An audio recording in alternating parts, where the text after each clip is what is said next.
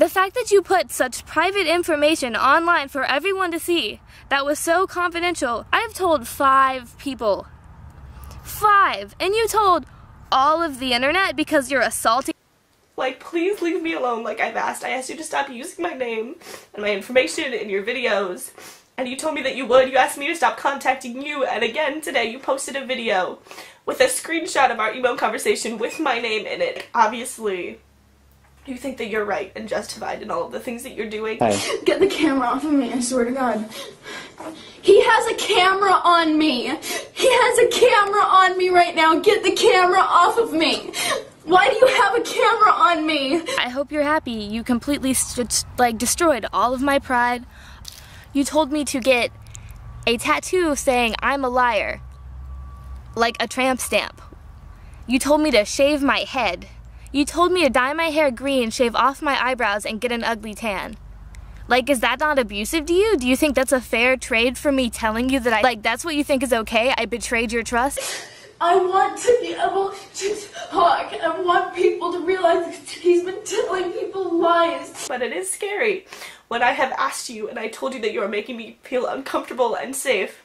And I've asked you to stop and leave me alone. And you continue to use my name and my information in your videos. This is my final cease and desist. Do not continue to use my name or my information. Please stop posting about me on your Twitter, on your Instagram, on your YouTube, whatever you can like just leave me alone. If you do it again, you will not hear anything from me. I will be contacting the police. We broke up. Look at me. We broke up. Look at me. We I don't up. give a whether we broke up or not. I do not give what you have done to me is irreversible. You have destroyed any way for me to support myself. I have nothing. You have destroyed me. No! Like, that's not how this should work. Like, you don't feel bad at all. That's the worst part. Like, you're just a person who likes to destroy people's lives because they're salty. That's it. You're the worst human being I have ever experienced. Like, I've never met someone so and so up and so willing to just destroy people's lives just because they're insecure about something. I just can't get over the fact that you're that person. Like, that's how low you had to stoop just to try to prove that you're right. Welcome to the X-Files. Unlike my previous videos on Onision, this is a very, very serious video. This is not made with the intention of, here's the tea, grab some popcorn. This video is serious in nature due to the fact that it covers a lot of serious topics, which is all documented and supported by evidence. This video is going to be split into four to five different sections, which are all linked down below in the description. You can click those little timestamps and it should take you anywhere in this video. I recommend you watch this video all the way through.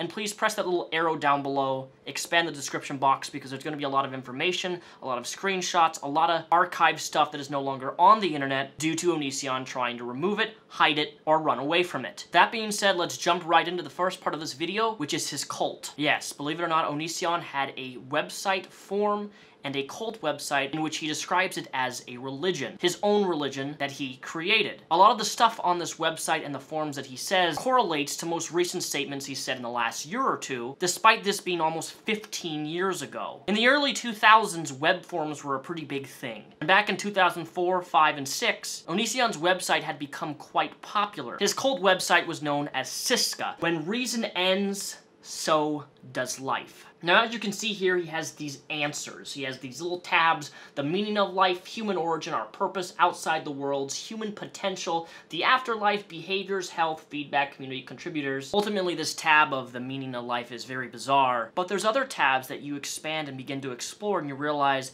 that this is not a sane individual. This is not just some normal little cult. This is somebody who has a flawed way of thinking about not only humanity, but also how he looks at abuse. He starts his website Siska with an introduction. My name is Gregory J. Daniel. I'm a man of dignity, integrity, and today I look at our society in recognition of what mockery we have become due to a lack of enforcement of are crimes that occur every moment of every day. I'm here to tell you that not all men are bad people. However, it is best to see all individuals as potential hostiles and potential victims. We all have the power to do terrible, terrible things, yet it is a choice in the end of the day that divides the pure-hearted from the others. Let the pure of heart be you, male or female. You have the ability to fight negativity in the world, and in this moment you will. If you have been violated in the past, let the possibilities for more single-sided attacks end now. If you fear future violation, learn from this site. Know you are strong and get through any terrible event. With your strength of heart, mind, body, you are a R's nightmare. Make it so. Not too long ago, I was appalled by suggestions that women dress themselves up as they were homeless or mentally handicapped just to avoid attack. This is a terrible advice, as hostiles do not always choose based on attraction. They do it on who looks most vulnerable or the weakest.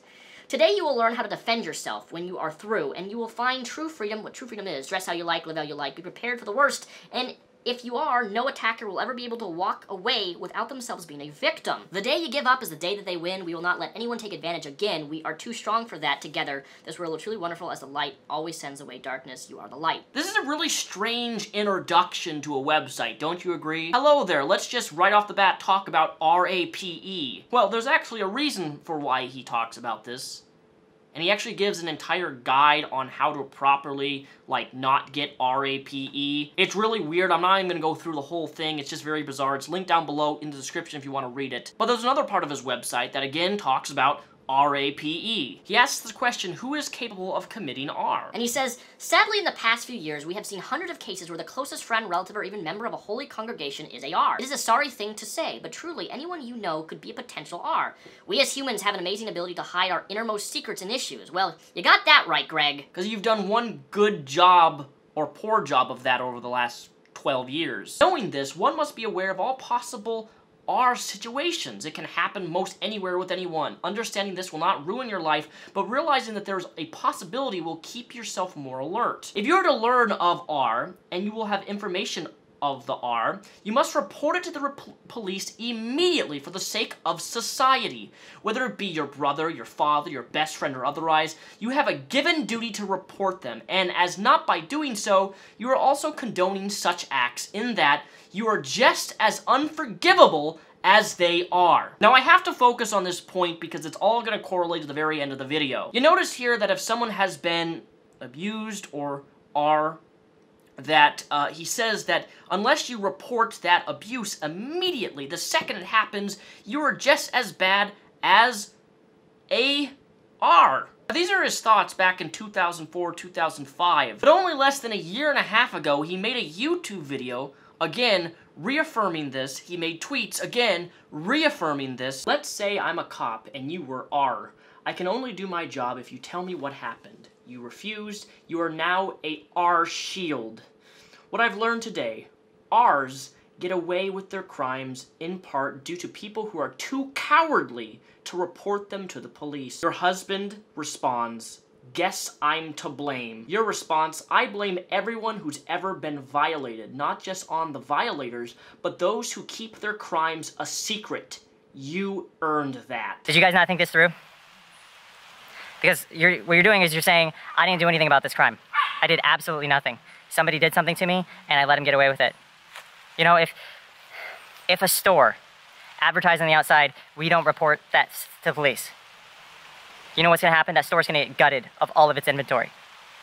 And I know a lot of you guys want to disagree with me on everything, but come on. Don't be going on Twitter sharing your story about why you decided to let someone get away with a horrible crime that they committed against you. Because guess what's going to happen? Every guy who follows you on Twitter that knows you personally, every predator out there who comes across your status, they're to know that you're an easy target. They're to know that if they do something to you, they're to get away with it. If you want to get a hashtag trending that actually helps people, do hashtag why I reported. Hashtag how I found justice. Hashtag how to find justice. Hashtag anything productive other than saying the system doesn't work and so I didn't bother with it and that's why I'm now going to get violated many times in my future and never report any of them. And that anyone, no matter who they are, men or women, if somebody is abused and they don't go to the police instantly, that makes them as bad as the abuser. Now, I don't understand this skewed line of thinking, but telling anybody who, who has been abused in any way that they're as bad as an abuser simply because they didn't report it instantly is some of the most grotesque, vile way of thinking about abuse that I've ever heard. And quite frankly, it completely destroys any victim of abuse and ignores any sort of trauma that somebody who has been abused may go through. Because whether you know it or not, every single individual person watching this video, if you've been hurt or abused in any way, people deal with trauma differently from every single person. You don't get to dictate how people respond to abuse, Greg. And it blows my mind that 12 years 12, 12, 13 years ago, you were saying the same things that you said less than a year and a half ago in video format. And about your husband slash wife, mind you. You even went on a rant about how your husband slash wife is just as bad as the abuser because she didn't go to the police right away. Who does that to somebody that they're married to, much less makes them feel that bad about their own abuse? Well, an abuser. No harm will come to you out of reporting them. Your information does not need to be given in order for the person in question to see jail time.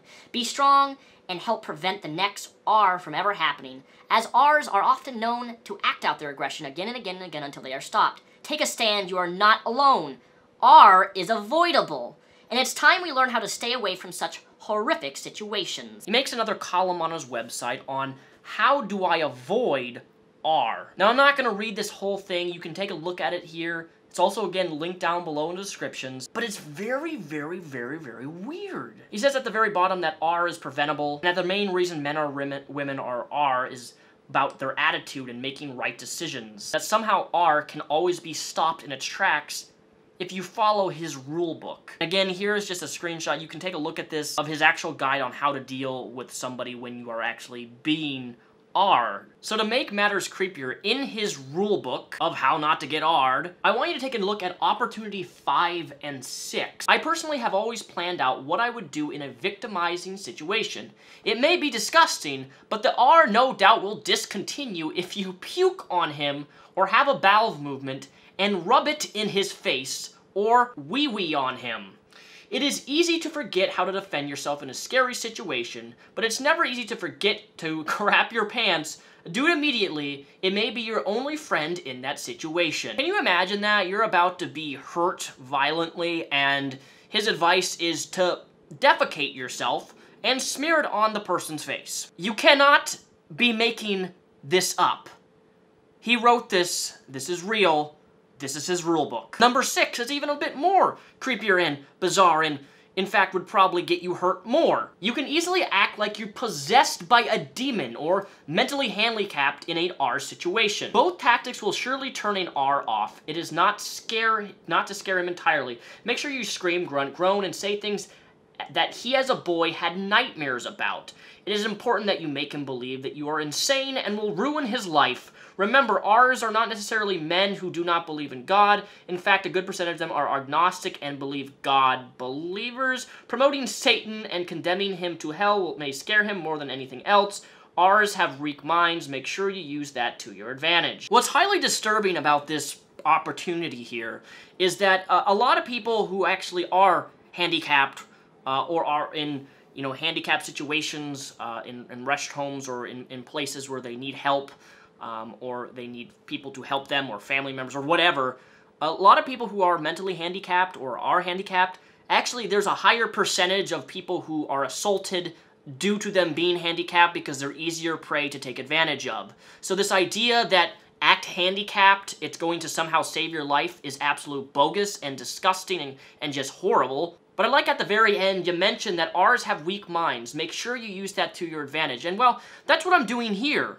I'm responding to somebody who has a weak mind. And with over four to five X testimonies that have all come forward now, showing screenshots and conversations that you are not only an abuser, you're manipulative, but that you do everything in your power to invalidate that abuse, and then you project everything that wrong that you've done on the back at the people who you have hurt. It's a very weird toxic, vile cycle that you're involved in, but we're going to get into that later in the video. Again, I recommend you click that description box. There's more on his Siska, we Siska website if you want to dive into it more. I'm only really covering the things that I find to be important and that somehow correlate and link back to the very end of this video, because like I said at the start, everything stacks, okay? You're going to see behaviors that are still exhibited 10, 10, 10, 12 years ago that are still being exhibited now. I'm all for people changing and people growing and people saying and people doing things in the past that they no longer feel and or would say now, but this is in the case of Gregory's instance, this is not how it works. Ex eh, behaviors and, and, and things that he said are still being said to this current day, which is, that's why this is a problem. This is not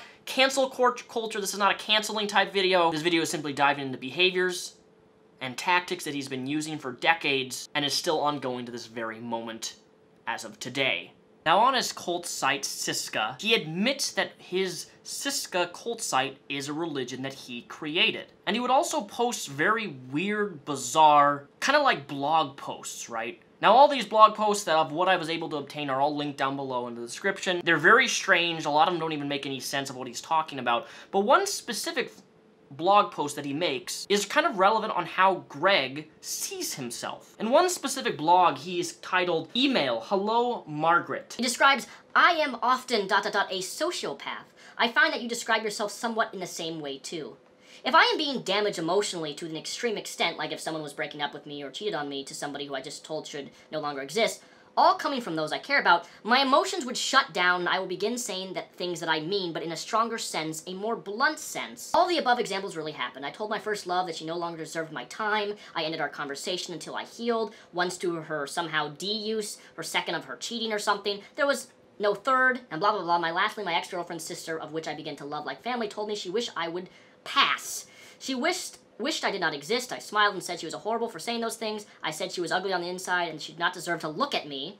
I made her cry many, many times due to what she said to me in a way that makes me look like a monster. In a way, anyway, this makes me a god. Key point in this post, he speaks about himself as being a god because he was able to hurt somebody because they said something mean to him and he retaliated. Perhaps this was meant figuratively, metaphorically, I don't know. Then he says, I invented a religion one I believe anyone who wants peace towards not on earth and less discrimination in our lives would follow. It follows the philosophy that we will come from the earth, it is our true mother, and that any hand which hurts, disrespects, it should fall back to it so they may be used to feed the lows less destructive, such as the soil. You should see it too, Siska.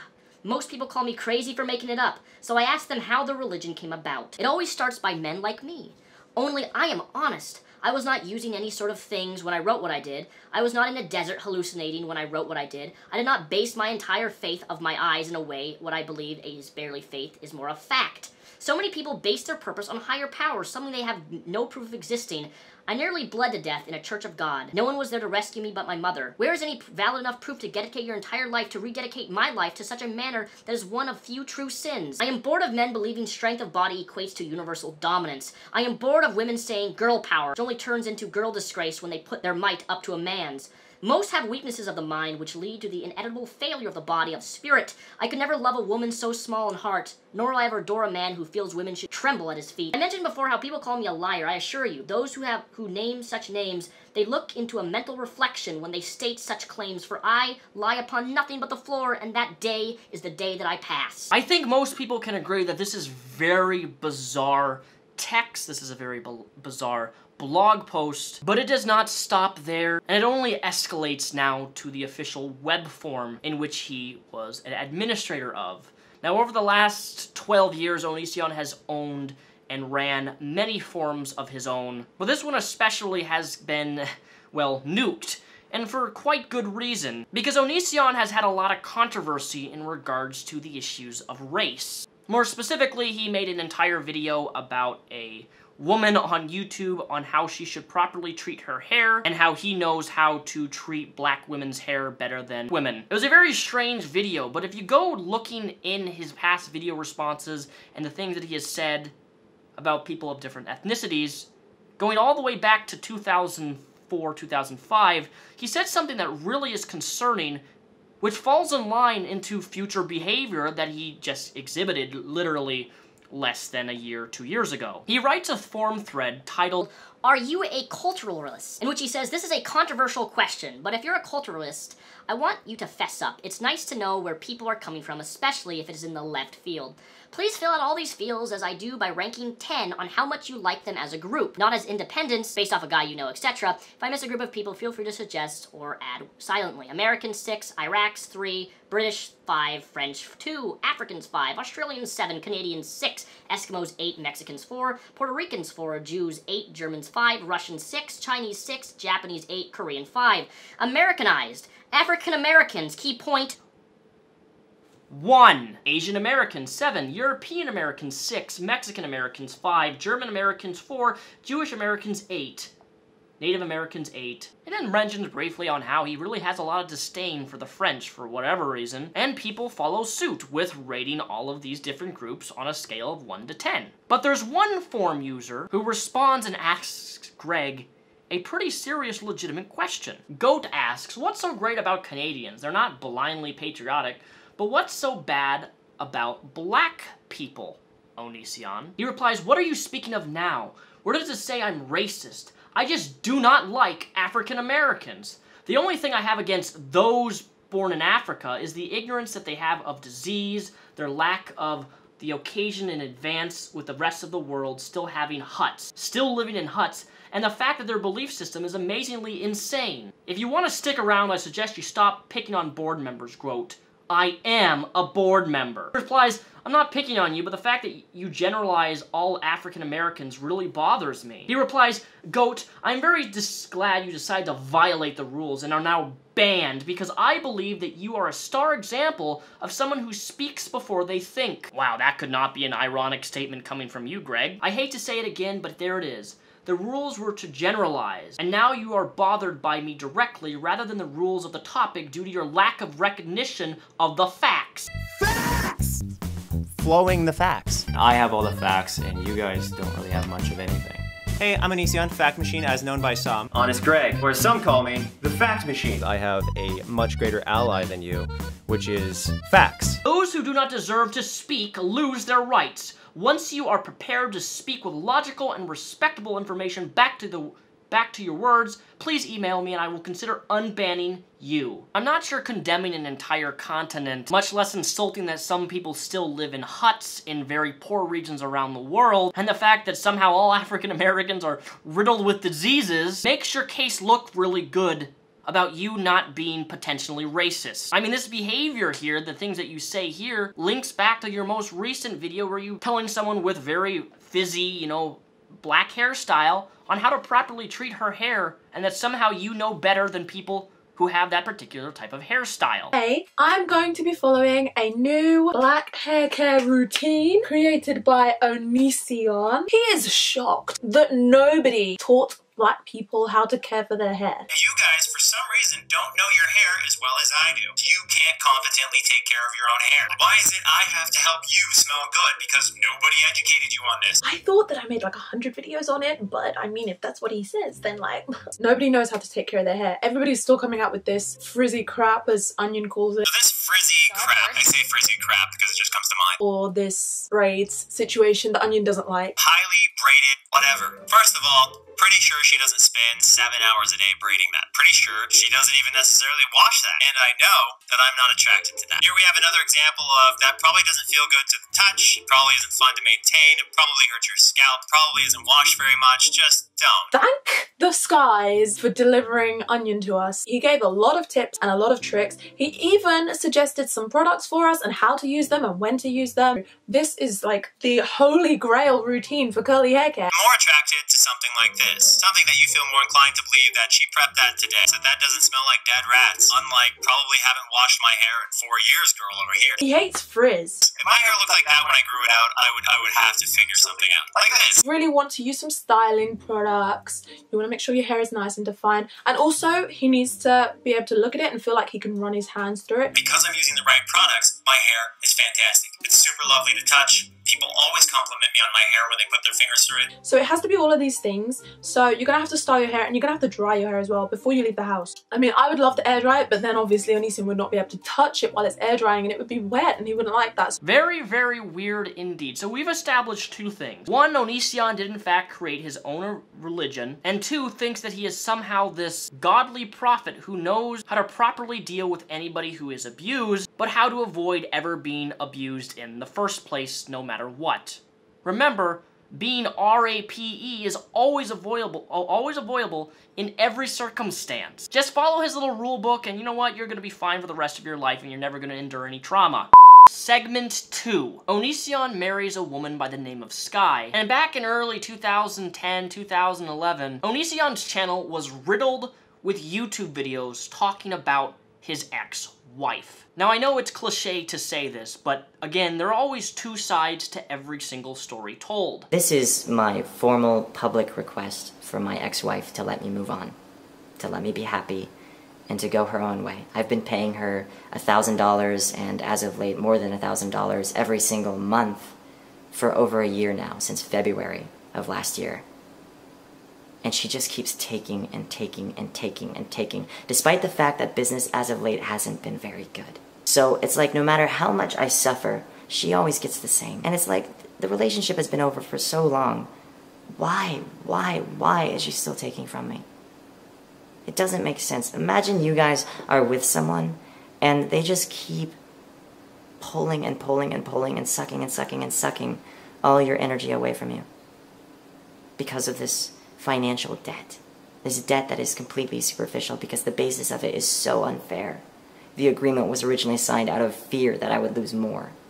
More which I do not have well, if I kill myself, at least I don't have to pay my ex-wife anymore. The problem with Gregory, and this is an ongoing trend with every single ex or ex-girlfriend or relationship he's ever had that's failed, is that typically when that relationship ends, he makes a large series of videos talking about that relationship, talking about that ex, and essentially putting them on public blast, despite them never ever saying anything publicly, but most of all using his audience as a means to shut down anything those exes have to say. In fact, he's been so effective of this until the last month that I knew and never interacted with Sky up until literally September of 2019. I knew she existed, but at no point have I ever heard from her, I've never spoken to her, I've never heard what she had to say. And that's because in 2010-2011, Onision made a plethora of videos talking about his ex-wife. Now in these videos, as you're going to hear, bad-mouthing her, making things up that are not true about her, but he goes on Facebook and rants about her, he goes on Twitter and rants about her,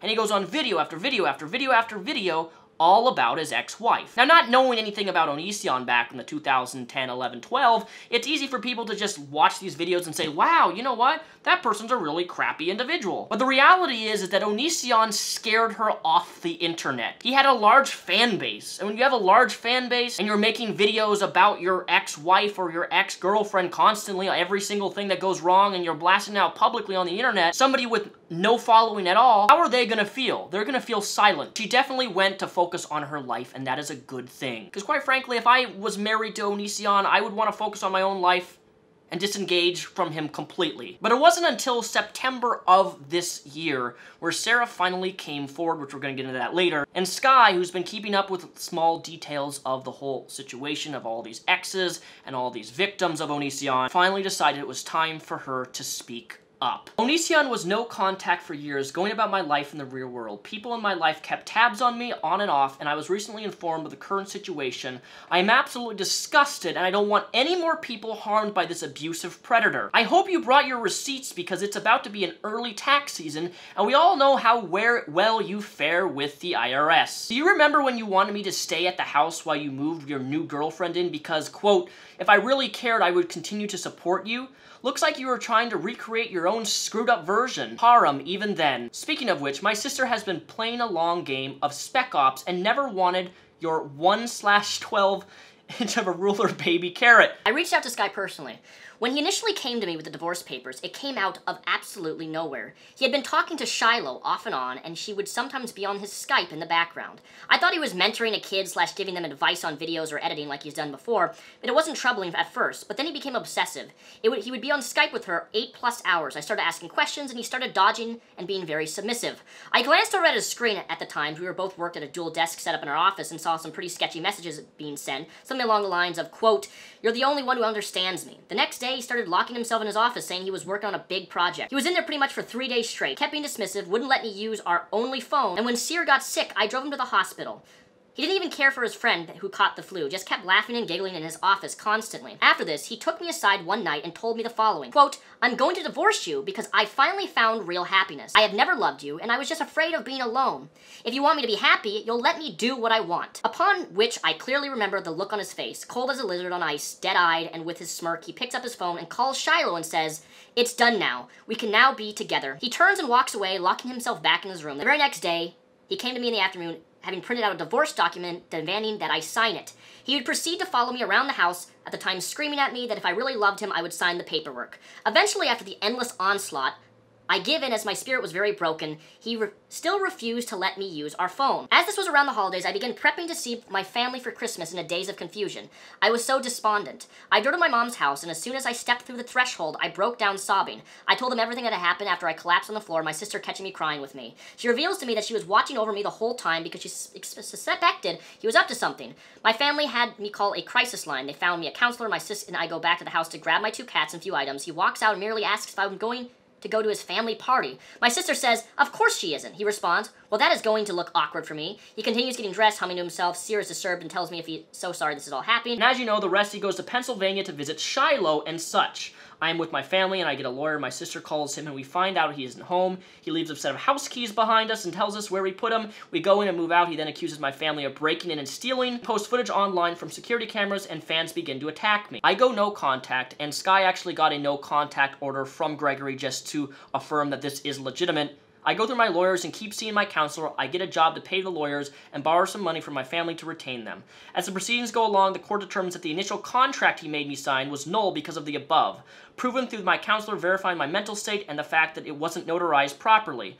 Long story above explains how and why this contract was thrown out. Now, I realize this is a lot of information, but number one, we're going to take a look at the bogus contract that Onision brought to Sky out of the clear blue demanding a divorce. Because believe it or not, what she says actually holds up because he tried to use this as paperwork in court legally. He wrote out his own divorce separation divorce document, but you can't do that. You have to have it done legally with divorce lawyers. Separation agreement dot text. I, Gregory, promise I will take care of Sky, housing, food, water, electricity, so as long as no significant abuse of these resources occur and Sky does not have any legal way to violate anyone else in the household. From December 22nd, 2010 to December 22nd, 2011. If Sky chooses not to live in the same house as Gregory, he will provide a $1,000 allotment unless this allotment exceeds 30% of his income, in which case he will only provide 30%. This will also expire December 22nd, 2000, regardless of when the living quarters change occurred. Line C, to be clear, allotment will never exceed 30% of Gregory's income. If after December 22nd, 2011, Sky is not ready to move out, Gregory will offer another 12 months of free housing, food, water, electricity, as long as blah, blah, blah, blah, blah. Sky forfeits all home ownership rights to Gregory Daniel effective immediately, and the date is written down. No, folks, I'm not joking. This is Onision's handmade divorce document that he forced Sky under duress. Well, she signed it, but it didn't hold up in court. Because again, you have to go through the legal system of getting a divorce through the state. You just can't write a little contract. And notice how he put an expirations date on this bogus contract, wanting to give however much money he deems appropriate. Months later, after his affair fails and then his relationship with AJ blows up, he begins love bombing phase, as I've already posted screens of. He is unaware that I communicated with AJ. I tell him I want to finalize divorce in a phone call. He says that he can't pay the original amount requested, so we negotiated guidance from lawyers. The agreement's met. We sign papers. He asks me if I ever, we will ever get back together. He mentions loneliness. I say at best that we were staying neutral and I don't trust him much. He says okay. He gets back with Shiloh very much soon after. He remains neutral and cooperates for a few months. Last time he breaks up with Shiloh happens. Having no one to release his narc rage on, he decides that I'm the source of his problems. All those obsessive videos ensues with the alimony, death threats, amp up, and other shenanigans. I get offline again for the sheer amount of craziness, crazy stalkers, doxers, and harassment. Uh, my accounts go private for my family, and I give up on my channel because I honestly couldn't take how bad it got. He harassed, he harassed me offline, on and off beyond this. So when Sky goes to her lawyers and actually gets it done legally the proper way you get a divorce, and everything gets finalized, he goes on a tangent spree. April 25th, 2012, he says, I'm going to end myself to Sky. The only way I will be free from this debt that I have control over is ending myself, so unless I hear from you, unless you notify me that I no longer have to make payments, I'll take the only way out I know. I can't take this torture anymore. It's your choice, as relieving me from this debt is a determining factor. The very next day, he sends another email to Sky. Considering you've completely ignored my pleas for help and mercy, I assume I must continue to be this slave to you, working for nothing, all because you lied, stole, and cheated the system. I've lost all respect for you, Sky. You clearly don't cannot love me. You used me as an easy ride, just like when you cried when I requested a prenup. You set me up. Don't you dare say you love anyone ever again, because love never means stealing or corrupting a signed agreement, only to replace it with ridiculous demands. I don't understand how you can live with yourself. I would be ashamed to be you. But unlike you, I honor agreements to the very best of my ability, and thus I'm willing to contribute. I have a legal right to stop you if you do not provide me with the necessary information to deliver payment as a simple, direct method. By the reason I know the way you won't talk to me is because you have no defense of your actions, and talking to me directly would mean facing what shameful person you've become. Now, combined with these emails that he sent threatened to end his life because he has to pay her a certain amount of money. He makes a video on his channel titled Alimony versus Slavery. Now you're gonna hear some snippets of audio here. I can't actually so show the physical video because Greg is going to try to take this video down with a false copyright strike. So this is Onision talking about having to pay alimony to Sky. This is followed up with a secondary video titled Please Move On. These videos are linked down below in the description if you would like to see them and watch them in full. However, for the sake of this video, and to make things shorter, these are really the only relevant parts you need to hear. Hey, do you support slavery? Like, do you support another person working for something that they cannot profit from whatsoever? Do you support that? Okay, if your answer is no, then you don't support alimony. Do you realize that? You do not support alimony if you do not believe in someone working for something that they are going to gain absolutely nothing from. Because to me, what alimony is, is it's paying for someone else's lifestyle. Why do we pander to lazy people? Why do we let lazy people suck us dry of our life force? It doesn't make sense. Absolutely shameful, lacking any form of honor these people who collect alimony after even a year of already doing so. A year is plenty of time to get back on your feet, and yet these people, they continue to suck and suck and suck. All the while claiming not to be a succubus, which kind of defines them entirely when they decide to sign a piece of paper that says this person has to pay me for good reason for the next few years because I'm too lazy. Not only is it really crazy to, you know, compare paying alimony, divorce fees for a couple years to that of the physical act of slavery. But then he goes on Facebook and makes Again, more posts about having to pay a normal fee or normal payment when you go through a divorce legally. I love how she steals from me every month, and yet people praise her on her Facebook page as a hero. What a crazy world we live in. She doesn't have to work for six years, people, just like she barely worked while we were married. I wish I could get paid to do nothing, but I guess I wouldn't respect myself then. Amazing she does. Greg, grow up. She's done nothing to you. Oh, you mean like rob me from the thousands a, a, month? You mean like that? This goes on and on, and I could just keep showing you screenshots and things that he has said about having to pay alimony. And the funny thing is, and this goes back to some of my more, uh, more recent videos talking about him having to owe the IRS, is that he actually used the IRS, or I mean, he actually used alimony, having to pay, you know, your ex-wife money for divorce, and he used that as a tax deduction. So remember in my last video where I talked about taxes and him blaming everything on TurboTax and him taking out wedding, oh, I got a wedding ring. Um, oh, my, my car is a... Basically, essentially used every single expense you can possibly imagine in a business and deducted out of for taxes. Which you can't do. You're only allowed to take money out of deductions when it's like involving your business But he did alimony, he did marriage, he did wedding rings, he did every little possible thing that you, toilet paper, whatever thing that you can deduct and try to get away with, that's what he did, which is why he's still in legal trouble with the IRS and having to pay a massive amount of money, and which is why he had to sell a house for roughly half a million dollars because he owned this gigantic mansion, because he had to sell it because he was going to go bankrupt, essentially. To me, this is just karma coming and catching back up with you, Gregory. And I know this video is gonna really hurt and damage your feelings, but you have done this to yourself. So in the court documents, it goes like this.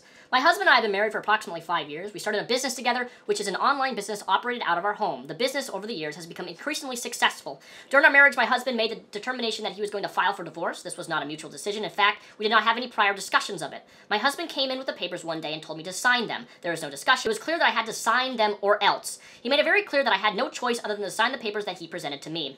I'm not very certain of what I signed. I only have a one-page document. He took the rest of the papers I was able to find out by checking online, and he had filed in county for divorce.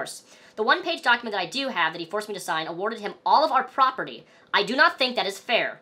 We own real property, a family home in Washington. We have an online business that has been grossing approximately a certain amount of money per month.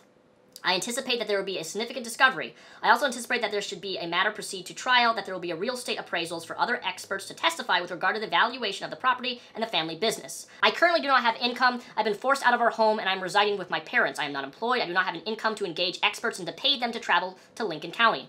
I do believe that it would be appropriate to have a venue transferred to county where both the petitioner and the respondent reside, where the property is located, and where my family business is located at well. Procedural history. My husband, who was very controlling, domineering personality, informed me that I was getting divorced. He informed me that I had to sign a petition for a dissolution of marriage for which he had completed for the County Superior Court. Petition, he affirmed on the pre penalty of pre-jury that we had no assets, no liabilities, and there would be no spousal maintenance. My husband demanded that I sign the petition. He told me that the petition was just to get the paperwork started and we could agree upon the final distribution of the assets, liabilities, and maintenance. I signed the joinder.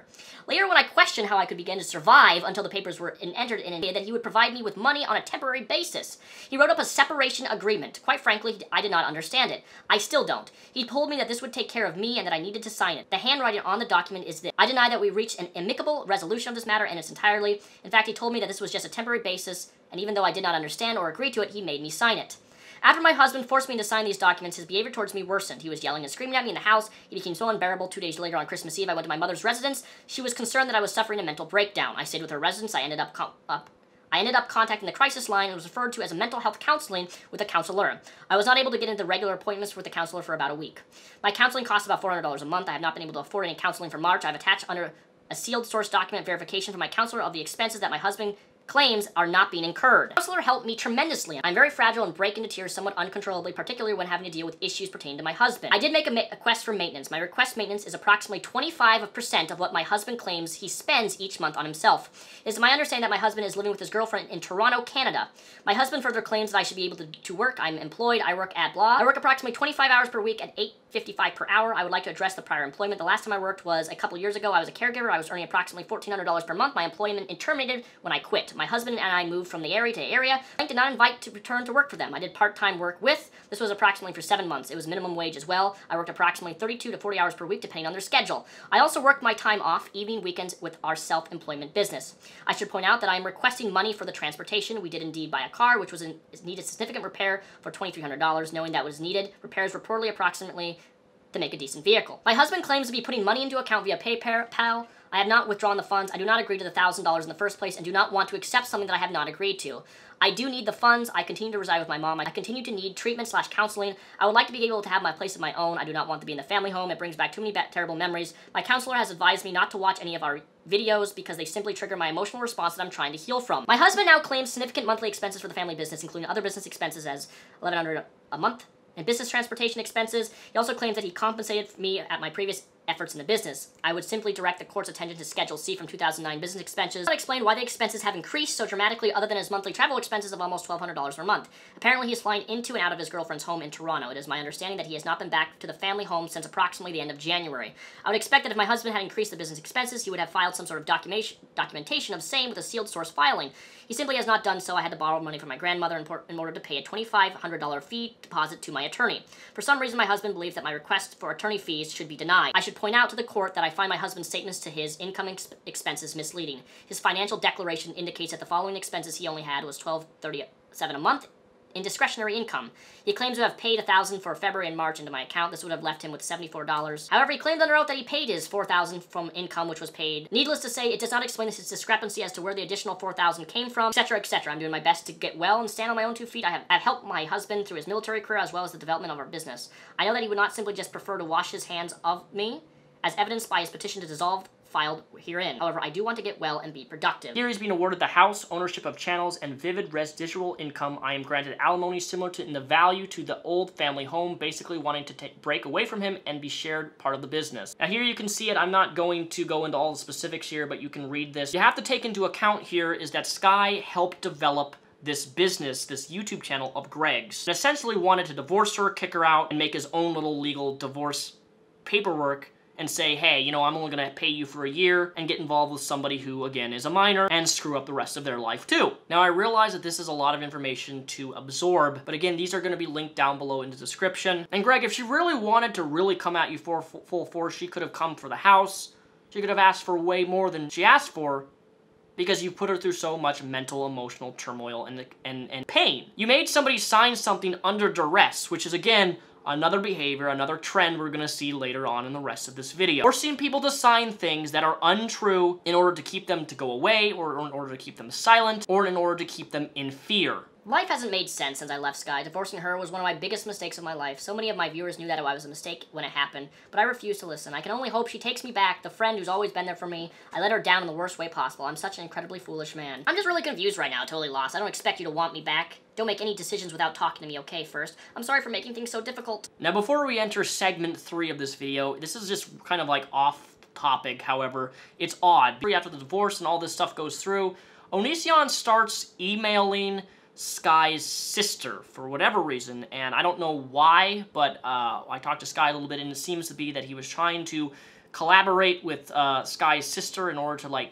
get back at Sky. However, Sky's sister completely ignored him, literally offering her thousands of dollars for a to just be in his YouTube videos. It's, it, it's very strange. As far as income, like I said, I'm pretty sure I can pay you more than what you would make at another job. Let's just have fun and make awesome videos together. I need help, Sky. My financial situation, specifically thanks to taxes, is really messed up right now. I need to work with you through this. Please call me sometime and write back. February 18, 2012, congrats, I'm broke. Please let me move on, please let me be happy, please don't take any more. All will be forgiven, I'm just tired of hurting. I want nothing from you. Why do you still take from me? Please, this is absolute torture. Don't let me throw my life away over principle. You are not a horrible person. I've known you long enough to see that, but what you're doing makes everything we've gone through so ugly. And this goes on and on and on and on and on. Like, it's just, it's, it's crazy, guys. It's absolute crazy how he goes from one second to like, you're the most horrible person in, in the world. The other moment he's like, I, I want you back, I want to be with you, it was a horrible mistake, I made a, a, an error, I blah, blah, blah, blah, blah, blah, blah. He just keeps going, and she just continues to ignore him. I mean, the divorce has already went through, the paperwork's been done,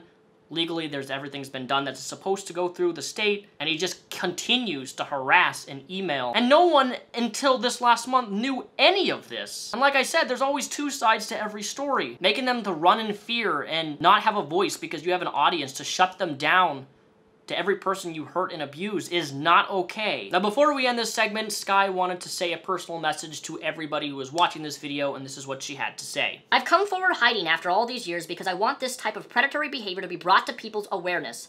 I was harassed and threatened offline due to the lies this man spread about me and my family. I had to get therapy for the emotional abuse I endured during our marriage. Upon finding out what happened to Sarah, I was angered that more young women are being hurt, that her story was being brushed aside while he and his spouse continued their antics. This was a girl who trusted them while living under their care and they violated her in more ways than one. I knew if I stepped forward to show support, she stood more of a chance of being believed. I don't want her to go through the same harassment I went through as she clearly had already been through enough. So I've come forward to help establish a history that shows the pattern of, of predation, the emotional abuse, the manipulations, gaslighting, and other outright harassment brought to the light, that other young ladies wouldn't have to be preyed upon. I am so glad others have come forward, each corroborating the last. I am just saddened by how many have suffered. Hopefully those who will see this video will become more aware and help those and themselves to avoid or get out of these circumstances. That being said, we have all been supportive of each other in the proceedings forward. I want all the other girls to know that there's a future after this and that those past moments you've lived don't define you. What you are doing now is so important and don't give up. I'm living a much happier life now and I am free. I've gone back to school working towards getting my master's, pursuing my dreams, and I'm in a long-term relationship with one of the most kind, funny, loving men in the world. My purpose now and have so much to explore in this life, I am taking the time to develop my skills and explore spirituality. Regardless, for any young woman out there to going through something like this, know that there are kind people out there who will love you and that you are worth so much more. Please speak up. I support you and so many other women will too. Much love and kindness. Segment 3 Shiloh. I was 16 when we started talking over Skype. I had spent hours a day talking to other online friends and honestly thought nothing of it over the seven to nine months we were communicating over Skype. He gave me advice, I opened up to him and things, and he posed as my best friend. We spoke for at least 8 to 12 hours sometimes a day. He did not express love or in otherwise interest in me that I was aware of until the day on Skype that he showed me the papers with Sky and said it was because he had fallen in love with me and out of love with Sky. I remember being really shocked because although sometimes he would open up to me that they were growing apart, I always supported working through it with her and always said that I thought they were great a couple together. I've been telling my mom that he was planning to fly me out there to film with him and his wife. I was still 16 at the time. I forgot this until my mom mentioned it. But yes, he was trying to get me down there with him and Sky for a while, but my mom wasn't for it. Looking back on it, he was 100% creeping me in front of his wife. Very endearing, too much so. I was very innocent at the time, and I was just, I was still in that headspace of thinking that nice people were just nice. I'd been raised as Jehovah Witness my entire life before the ages of 13, 14. I didn't continue my career. I was extremely moldable. He didn't send people after me that I know of in the first breakup, other than to drag me with the video of him yelling. The second breakup, however, I got dragged to filth. I woke up the next morning to thousands of emails from his haters. Now for the rest of this video, you're gonna have tweets being scrolled down on the side of other statements of other things that corroborate the fact that Shiloh and Sky have now been speaking with one another and can both come as witness, as evidence, that all this was going down at the same time Onision initiated the divorce with Sky. It's a pretty scummy, crappy thing to do. Bring in a whole nother person, screw with them, mess up with their life, but most of all cause them an extreme amount of trauma, but most of all stress. Now I asked Shiloh personally if I could showcase part of this video that's been removed on his YouTube channel, but there's still clips and segments on his actual channel where he does include this, and she asked me if I would not include it in this video, so I'm going to respect her wishes. However, I will talk about something that Onision did at this point. Now, you may have seen this, you may know about this, you may not know about this, but Onision was so abusive and caused Shiloh so much stress that she had a stress-induced seizure. Now, when she had this seizure, instead of doing the normal thing of trying to get help, call 911 or whatever, he decides to pull out his camera and start recording her while she's having a seizure. There is a screen cap here. You can see the video. It has been deleted from his channel. There's also a video on his channel including snippets and parts of it. Overall, the original video is linked down below in the description if you would like to see it. I'm not going to showcase it here on my channel, but if you want to watch it, it's there. It's absolutely appalling. And I remember when this first happened. In fact, there's a YouTube video on my channel. So I just finished watching an extremely difficult video. This video is titled Shiloh Forgot Me. And Onision, I don't know his real name, I don't know anything about his videos, his channel, but I looked at the description and it said, this is not a joke. Now, I don't... To me, when I watched, started watching this video, tears actually started coming down my eyes, and when you have people in your family who you've had this happen to, it makes it all the more difficult to watch. The problem, I was highly disturbed by this video, mainly because of the actions that Onision is taking place. And I, I can't fathom how... if this is a legitimate video and he is being truthful, how can he film and record his wife in this mental state and post it to YouTube. I find it disturbing that Onision would even think to exploit someone he loves. Does is, does he not have any empathy, sensitivity? My emotion right now and my frustration towards this idiotic, pathetic, scumbag, douchebag known as Onishi. Oh, no, I can't even say his name now. Onision. Grow up. In fact, I pray, Onision, that you never, never have kids. Because if your child ever goes into epileptic, ept I can't even, I can't speak, it's 3 o'clock in the morning. If your child ever goes into epileptic shock or goes into a seizure, what are you to do? Oh, let's exploit him. Let's record him on the video camera. Let's not take him to the hospital. And it was my very first video response to Onision. I had no idea who Onision was. I had never heard of the guy up until this video because the video went semi-viral. There's a YouTuber here recording his girlfriend having a seizure. Who does that? Now, of course, Greg eventually came out and said that this was all scripted, that it was all a parody, that it was all fake, that she didn't have a seizure. However, Shiloh says differently, that it was real from all the stress and the trauma that she endured. And as somebody who has witnessed seizures IRL, I don't believe this was ever fake. But Onision tried to disguise it as that, in order to avoid any sort of criticism thrown his way towards doing something so deplorable as exploiting somebody's actual mental well-being and taking advantage of that vulnerability, confidentiality, and that privacy and blasting it on the internet as some sort of soap opera. You know, my dad's had two strokes, and when my dad had his first stroke, it never occurred to me for a split second that, oh my goodness, I want to get a camera and record my father. You know, when it comes to health-related issues, I'm really, really sensitive, and it gets my blood boiling. So I want you to come away with this understanding that this is not only abusive, but it's something only a sociopath or someone who's a psychopath would actually do. Filming someone at a, such a vulnerable mental state in order to exploit that on YouTube. This is a level of Jake Paul, oh my gosh, we're in that forest, I see somebody passed on the ground, let me get a camera and record. Who in their right mind thinks like this unless you're completely devoid of emotion, morals, and ethics. If you care about and love somebody, your first thought should be getting them help and not exploiting them when they're having a stress-induced seizure, which you can you can die from having a seizure. That's how serious this is. Now, Shiloh links in my DMs a bunch of timelines that support the fact that she was underage at the time. There's videos on his channel that confirm this, and again, that she was underage, and that Onision, the little weasel, tries to weasel him his way around all these relationships. If you notice this trend, he weasels his way around these relationships, right? And he tries to do everything just to get by legally, right on the line of what's considered legal. And I know all of you guys can agree that it's creepy, creepy, and weird, but this is where segment four comes in. His husband, or at the time, wife, Lainybot, who now goes by the name of Kai and has transitioned into a man. They, them, he, she, him, her. Doesn't really matter to me, but I'm gonna showcase a segment here from the channel Repzilla. No, it's not in association with me, in order to speed this video up because it's already getting way too long. Kai's current channel is Cool Guy Kai with over 342,000 subscribers. It wasn't always this, it did used to be Lainybot, but the reason for the change is that Kai no longer identified as a female. So for the remainder of this video, we will be using male defining pronouns. Actually an obsessed fan before he ended up marrying Onision. He actually found him through a Shane Dawson video. The video of them kissing, it's a, it's a whole story. Here's an older screenshot of Kai actually answering some questions. How long before you started talking to Greg did you watch his videos? Greg is an Onision. Five to six months, probably. I feel like since you kind of married your celebrity crush just by being a fan, you give some of the other fangirls hope. No, I don't think you understand. I was a fangirl. Not as creepy as most, but creepy nonetheless. He would stalk Onision's Twitter looking for any opportunity as a way in. He would finally get his chance when Onision broke it off with then fiance Shiloh tweeting, Soulmate, where are you? You can see Onision's tweet, Soulmate, where are you? And then the reply, it says Taylor. Taylor uh, it was actually the pre-transition name for Lainey and then again now Kai. They said here.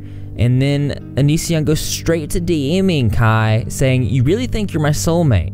If so, what makes you feel this way? Uh, shortly after they had a little bit of conversation in the DM, Onision actually proposed to Kai in a Skype call without ever having met him. Now, it is very important to note that Kai's father actually didn't approve of the relationship for the reason being it was potentially illegal. This conversation shows uh, then uh, Lainey is Kai. I've tried. My dad doesn't give a crap about the way I feel. Why don't you just go back with him, like to Greg's place? My parents would never let me go. I want that more than anything. I have to wait until I'm back with him, which will either be August or October. We'll find out tomorrow. Oh wow, why that long? Does he not Skype with you when you're apart?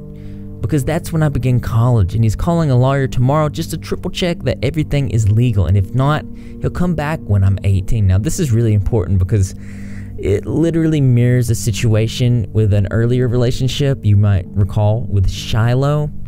Uh, On September 11th of 2019, Shiloh on Twitter, goes by Patient Zero, actually tweeted saying, Do you remember checking the state laws before coming to PA? A few days after telling me you were leaving Sky for me, just to make sure you could have relations with a 17 year old.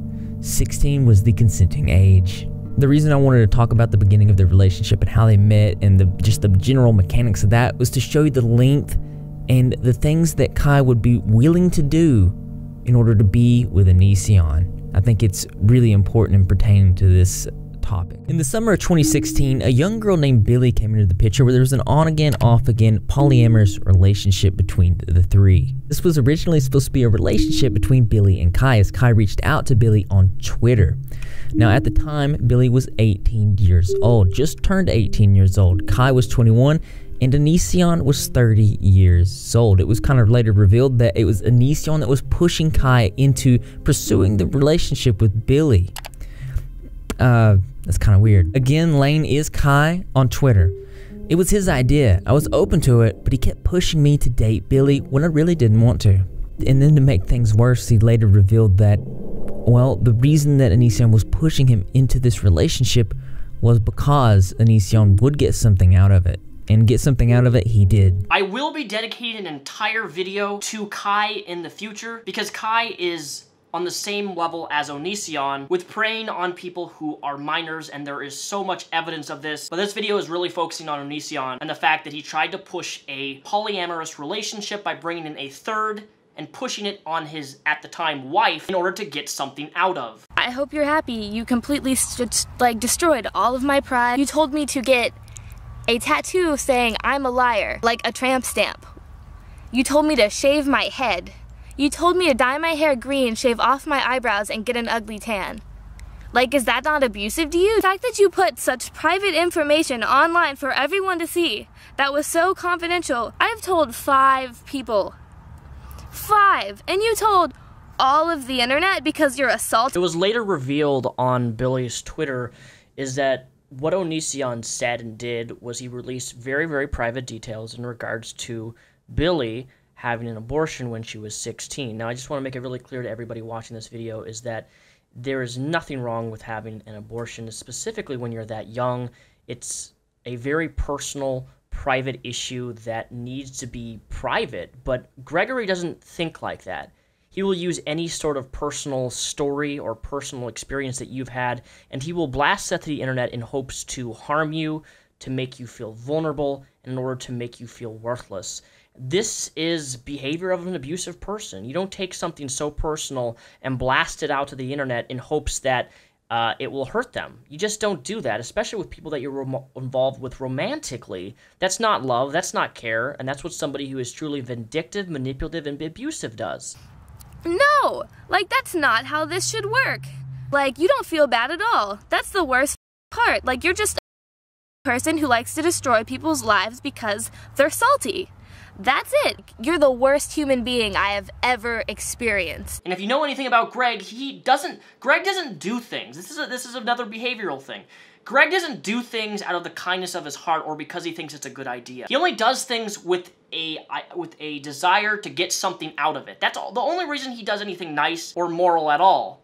But then can you really call it nice or moral if he's only doing it to get something out of somebody or to gain favor points? And what I mean by this is most recently, and I have to mention this, is that about a month and a half ago, Onision emailed me with some pretty vile, disgusting stuff of somebody trying to release a photo of my deceased relative. This individual that I knew IRL sent this to Onision in attempts to try to hurt me, which succeeded, but it also in hopes that Onision would somehow use my past grandpa as a means to attack me or the fact that almost a month and a half ago, I voiced that I needed privately to seek some help because I was very close to relapsing in regards to self-harm. They sent this Onision with one intent, in hopes that he would somehow try to use that against me. But Onision emailed me and said, hey, you know what, this is really screwed up. I'm gonna forward you everything that they sent me because that is what I would want somebody to do if they were someone who was trying to exploit my mental health related issues.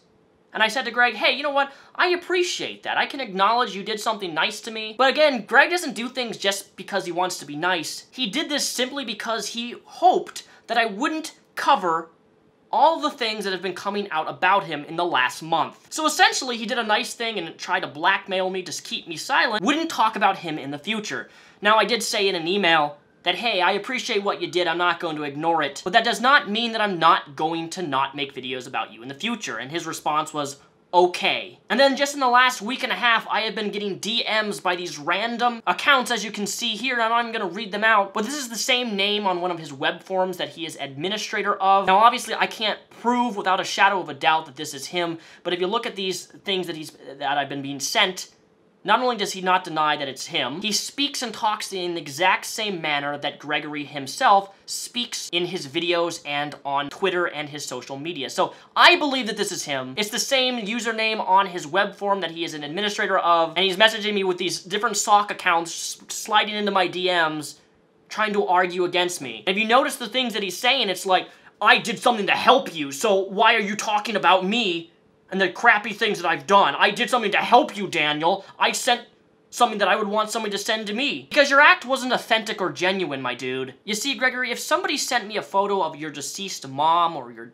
dad or no anyone in your family for that matter. I would never post it online. I would privately send you a message and say, hey, this is really screwed up. I just want you to know this is happening. And I would expect nothing in return. If you wanted to badmouth me, go ahead and badmouth me. I don't really care. The fact of the matter is, I'm sending you something that's important and I don't expect anything in return. That's what people should do, because the moment you expect something in return, you're not really doing it for genuine, authentic reasons now, are you, Greg? You really think you're gonna blackmail me into silence? That will never, ever, ever, ever, ever happen. Now that that's out of the way, let's focus on very shortly the whole Billie saga, and this third party that Greg was trying to force his wife at the time into a polyamorous, I can't speak today, polyamorous relationship in order to get something out of it. And getting something out of it, he definitely did. There was some intimate touching, some massaging, some booty rubs, when apparently Lainey at the time was very uncomfortable with this ever happening or physical touching ever happening. It did happen when she was out of town or gone. I don't even know the specifics. It doesn't really even matter at that point. The point is, Greg got something out of it physically, having this third party in the relationship, and then whoop-de-doo, out they went. He got what he wanted, kicked out, and walla walla, here you go. I also covered this video when the video was titled Onision Wants You in His Basement. Is linked down below in the description.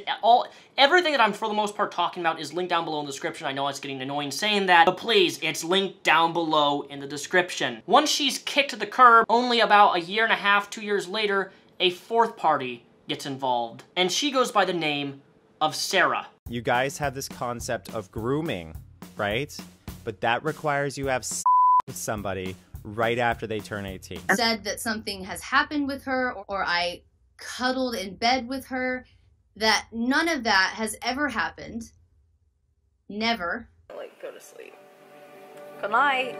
We first started tweeting Onision and Onision's at the time wife, Lainey. Um, I was, well, when I started tweeting them, I was 13. So you were a fan of them. Like, that was the relationship, like you being a fan of them. I was like the biggest fan. Okay, so clearly already there's like a power dynamic there, right? Like it's you know someone they're adults, they're internet famous, you are a fan, and you're a minor. So already power dynamic established. Yeah. So uh, he we were tweeting back and forth, and then he DM'd me, "Hey, how old are you?" And I said, uh, "Hey, Lainey, I'm 14." And he said, "Oh, you look older." Uh, he sent me a message that said, I'm about to delete this app. Here's my phone number. And he gave me his phone number. We would, you know, make jokes about us being together, but he also, he would send me like pictures of, of like him without a top on. Basically, Kai was taking selfies and he sent me a few of the selfies and one of them, he didn't have any bottoms on, but he had a shirt on. And one of them, like his entire like private was in the picture. So we had been friends since I was 14. Um, I was going through a lot and we had joked about me living there, but one night uh, after some really not so great stuff went down, I was outside crying, uh, texting my best friend, Kai, and he said that he was seriously going to talk to Greg about me living there. And I was, at first, I was just shocked. Like, I sat there, like, what? What do you mean? And I was like, wait, really? And he was like, yeah, it hurts to say this, but I do feel, I feel like they knew what they were doing. Yeah.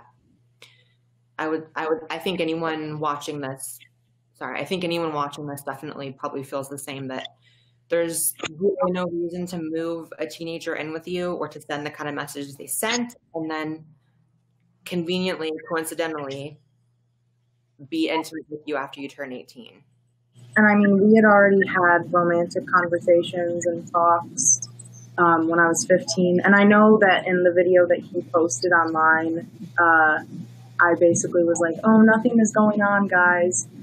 Um, but he wanted me to make that video and he like really pressured me into making it. And I really didn't want to. Um, I have bloopers from it of me literally like having like a mental breakdown, like sobbing because I was just so overwhelmed. Oh my God. It's only like 40 seconds long because he literally gave me like a list of things to say and I just said them and I just like like like bullet points didn't like tell me exactly what to say but like bullet points of what to like speak about so i just spoke about whatever he wanted me to and then i just like stopped it i didn't want to do it Geez, that's so controlling, right? Like to have this adult move you in and then force you to go on camera and explain how nothing inappropriate is going on. That just seems really messed up. well and also what would hurt me a lot is like having to watch him say like oh we don't even hug sarah we don't even do this or that and it's like I'm I'm sitting there like 16 watching this and I'm just like, but yes, you do. Like you're you're sitting here and you're blatantly lying and I can't say anything because I don't want to get you in trouble. Tell me a little bit about the NDA that you signed. You told me um, off camera that you signed an NDA the morning after you were intimate with them for the first time. Yeah.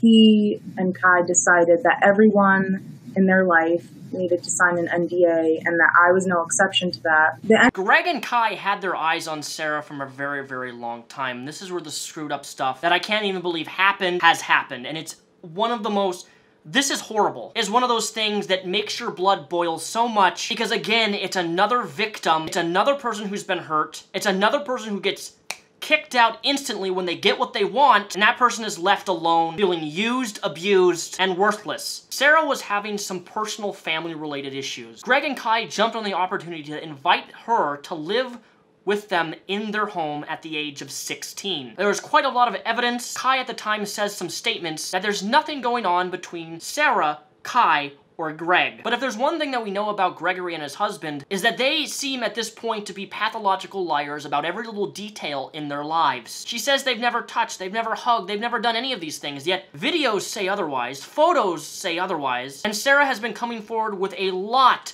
of info about what went behind the scenes when they obtained legal guardianship over Sarah when she was a minor. Now, what's absolutely terrible about this situation is that Kai and Greg both discussed Sarah's virginity like it was a piece of meat, like it was some sort of trophy to brag about. And it's quite frankly unbelievable at this point at how both perverted these two individuals Kai and Onision Gregory really are. Right when Sarah became 18, Onision took her not only her virginity, and after the fact forced her to sign a bogus NDA contract in order to keep her silent and in fear. Mutual non-disclosure agreement. Now, I'm not going to go through all the specifics in this, but essentially this is a copy and paste. He did not write this. He just took it off of Google, copied and pasted on a piece of paper, and said, hey, you know what? I'm forcing you to sign this. I'm not going to get it, A, notarized as a legal document, but two, I'm forcing you to sign this because I want to keep our relationship so hidden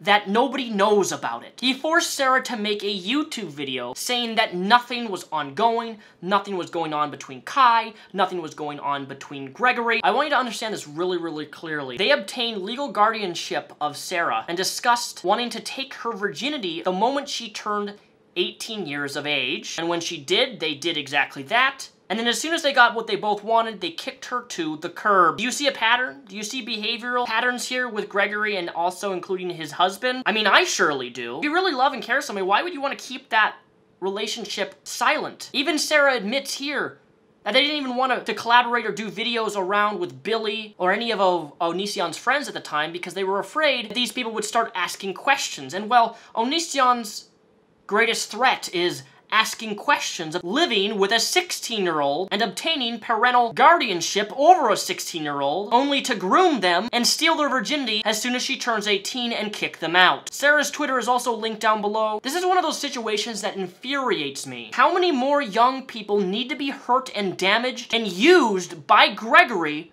before people realize that this man is in fact a predator? He preys upon young, vulnerable, impressionable fans of his takes advantage of them, gets what he wants off of them, and then he projects every problem that he has caused on that individual back at them. So what do I mean by this exactly? Well, apparently, according to Greg and Kai, Sarah, uh, small little Sarah who just turned 18, apparently R-A-P-E-D Kai and Greg. What?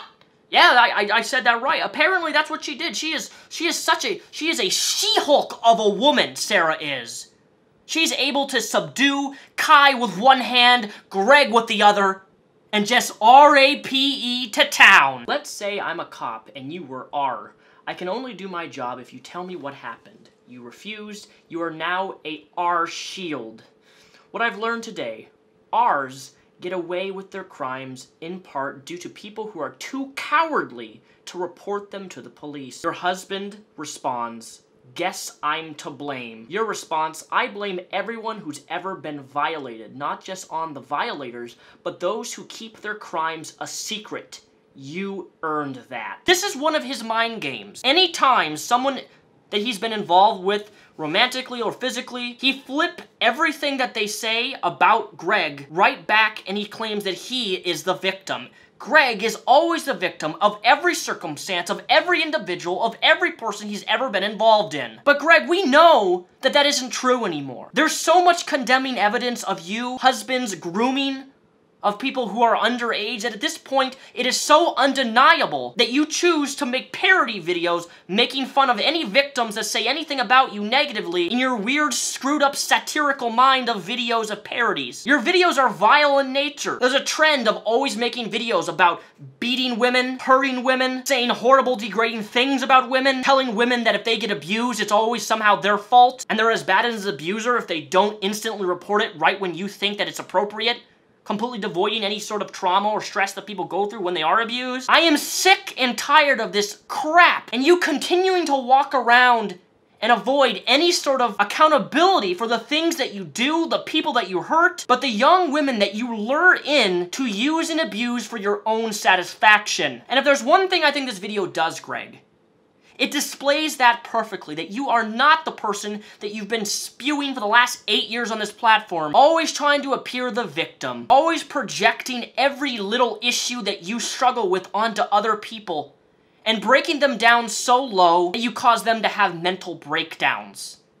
There isn't just one, there isn't just two, there isn't just three, there isn't just four, there's actually more than just this. But these are some of the biggest mental breakdowns that he's caused people to have, and Greg sees nothing wrong with what he does. And I hope this video wakes anyone up who is still a fan of his to acknowledge and realize that this man is not only abuser, but he preys upon young people. And he does everything so thin close to the legal line that he gets away with it. And I hope that this video helps anyone who's thinking about getting involved with him, whether it be with videos, whether it be giving him money, or sliding in his DMs in hopes to garner some attention. Don't do it. He will exploit you, he will use you, and he will abuse you to such a low point that you will have no self-esteem and no self-worth, and that's what he wants. I'd like this to stop. I think all of you watching this video wants it to stop too. Thank you for watching this video. All of my links and my socials are linked down below. The description is filled with screenshots, videos, photos of nearly everything that I've mentioned here in this video. If by some rare chance this video is monetized, which it most likely won't be, but if it is, I'll be donating 20% of any ad revenue that I make to a charity that helps women with domestic abuse. Please share this video, please tweet this video, but most of all, bring awareness to the type of person Gregory really is and why he needs to be stopped so that no more people get hurt.